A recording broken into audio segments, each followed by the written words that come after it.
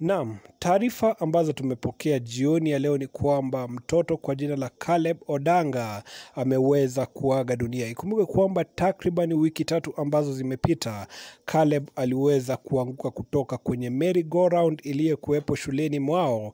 Unapata kwamba kutokana na hili aliweza kupata fractures kwenye kichwa chake, na licha ya madaktari kujaribu sana kurejesha uhai wa Caleb Odanga, imeweza kushindikana, kwani amekuwepo kwenye ICU muda huo wote, lakini kwa bahati mbaya siku ya leo Caleb ameweza kuiaga dunia.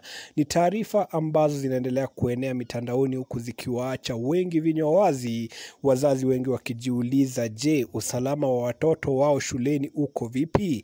Ni swali ambalo mpaka sasa hivi wengi wa wazazi wanazidi kujiuliza, ila sisi kama Vic Dimples tunaendelea kuungana na familia ya Caleb na tukiomba roho ya Caleb ikaweze kupumzika pahala pema peponi. Tutakuwa tukifuatilia taarifa hizi na bila shaka updates zote utakuwa unazipokea. Subscribe kwa mengi zaidi, au sio?